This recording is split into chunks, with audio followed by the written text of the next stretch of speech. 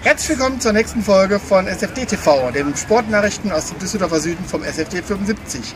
Erst einmal vielen Dank für die zahlreichen Klicks, die ihr auf unsere Videos bisher gemacht habt. Aber ihr dürft uns auch abonnieren. Dafür einfach unten auf Abonnieren gehen und ihr bekommt immer die aktuellsten Infos, wenn ein neues Video eingestellt ist. Und hier kommen die wichtigsten News für die nächste Woche. Nach der positiven Resonanz vom Dienstagabend im Schachraum bei der ersten Panini-Tauschbörse möchten wir am Sonntag, den 19. Juni, zu einer weiteren Tauschbörse einladen. Von 10 bis 13 Uhr darf jeder kommen, um seine Sticker miteinander zu tauschen. Bei Kids in Action ist der SFD 75 auch vertreten. Am Sonntag, den 3.7. in der Zeit von 11 bis 16 Uhr, können Sie unsere Stände besuchen und sich über unser Angebot informieren. Wir freuen uns auf Sie. Wir haben noch freie Startplätze bei den Fußballcamps in der ersten und sechsten Ferienwoche. Einfach anmelden.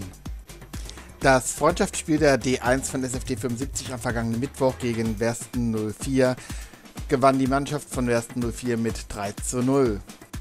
Für Samstag, den 25.07. hat sich um 10 Uhr die Gastmannschaft aus Solingen-Wald angemeldet. Anstoß ist um 10 Uhr im Sportpark Niederheit für die D1 von Trainer Uwe Kuzemski. Am kommenden Sonntag nimmt die D1 von SFD 75 beim Turnier bei Schwarz-Weiß 06 in Düsseldorf teil. Beginn ist um 14 Uhr am Stoffener Kapellenweg.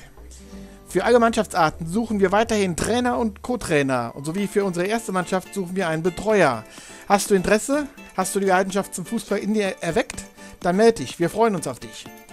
Und das waren sie wieder, die SFD 75 Sport News für diese Woche. Ich hoffe, ihr habt genauso viel Spaß wie ich und denkt dran, ihr dürft abonnieren und auch teilen bei Facebook.